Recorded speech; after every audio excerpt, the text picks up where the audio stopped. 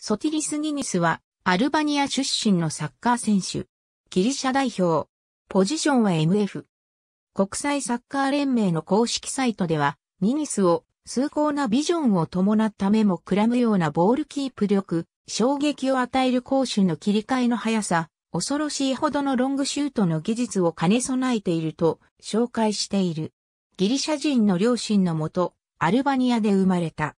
2004年に名門として知られるアポロンスミルニス FC の下部組織からパナシナイコス FC の下部組織に移り、トップチームデビューするまでの2年の間にユースチームでは不可欠な存在となった。2006年12月22日、クラブはニニスに5年契約をオファーし、その2週間後の2007年1月7日、ビクトル・ムニョス監督はトップチームのエガレオ FC 戦にニニスを招集した。この試合でトップチームデビューし、1978年に15歳でトップチームの試合に出場したコスタス・アントニオに次いでクラブ歴代2位の年少リーグ戦出場記録となった。2月15日には UEFA カップの RC ランス戦に出場し、ギリシャのクラブ所属で欧州カップ戦に出場した最年少の選手となった。2月18日のエック、アテネ FC 戦では、ライバル相手に1得点にアシストの活躍を見せた。7月6日、パナシナイコス FC とプロ契約を結んだ。同年12月には、選手や監督の投票によって選ばれるギリシャ最優秀若手選手賞を受賞したが、これは同賞の最年少受賞記録である。2007から08シーズンは負傷により不満の残るシーズンとなった。オリンピアコス FC とのシーズン開幕戦に途中出場すると、ハムストリングや腹筋を痛め、3ヶ月の間離脱した。結局2007年12月に復帰したが、シーズンの残りの試合には出場することがなく、ジョゼ・ペレイロ監督は、ニニスの出場を期待するファンから批判を受けた。2008年夏に就任したヘンクテンカテ監督は、プレシーズンの練習で常にニニスへの信頼を示し、2008から09シーズンは良好なスタートを切った。UEFA カップのシャルルロア SC 戦では後半、開始から試合に投入されると、1得点3アシストの活躍でベルギーのクラブに5の1と解消した。8月11日には、天下手監督によって、ディミトリオス・サルピンギディス、ジウベルト・シューバーと共に、キャプテンの一人に指名されたことが明らかになったが、18歳と125日でのキャプテン就任は、クラブ史上最年少記録となった。9月23日には、クラブとの契約を2012年まで延長し、ギリシャ国外のチームに対する契約解除金は1000万ユーロに、ギリシャ国内のチームに対する契約解除金は1700万ユーロに設定された。2010年2月の UEFA ヨーロッパリーグ AS ローマ戦では2試合を通して改心のプレーを見せ、セリエ A で2位につけていたチームに勝利した。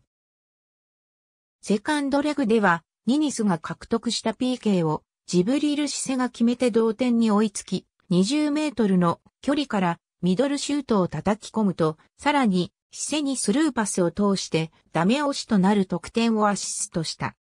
AC ミラン、FC スパルタクモスクワなどが獲得に興味を示していたが、2012年7月、かねてより噂されていたパルマ FC への移籍が発表された。契約期間は4年。2013年夏、パッチテッサロニキへのレンタル移籍が発表された。2014年11月6日、パナシナイコス FC に再加入した。世代別ギリシャ代表2007年、U-19 ギリシャ代表として、オーストリアで開催された UEFA U-19 欧州選手権に出場し、準決勝の U-21 ドイツ代表戦では1得点にアシストの活躍で決勝進出に貢献した。決勝で敗れて準優勝に終わったが、大会ベスト11と大会最優秀選手に選ばれた。A 代表デビュー後も U-19 代表の試合に招集され、U-19 モルドバ代表戦や U-19 オランダ代表戦では、キープレイヤーとして活躍し、特に後者の試合では1決勝点1アシストの活躍で UEFAU-19 欧州選手権本大会出場に望みをつないだ。2008年5月29日のロシア戦でマンオブザマッチを獲得すると、アーセナル FC、マンチェスターユナイテッド FC、レアルマドリード、AC ミランなど西欧のクラブのスカウトが関心を示した。2007年2月には公式に U-21 アルバニア代表からの招集を拒否した。同年からは U-21 ギリシャ代表にも選ばれており、2009年9月8日、U-21 イングランド代表戦で同点ゴールを決めた。ギリシャ A 代表2008年5月16日、ギリシャ A 代表のオットー・レーハーゲル監督は、ニニスを初招集し、5月19日のキプロス戦でトップ下として先発出場してデビューすると、その試合で初得点を決め、マンオブザマッチに選ばれた。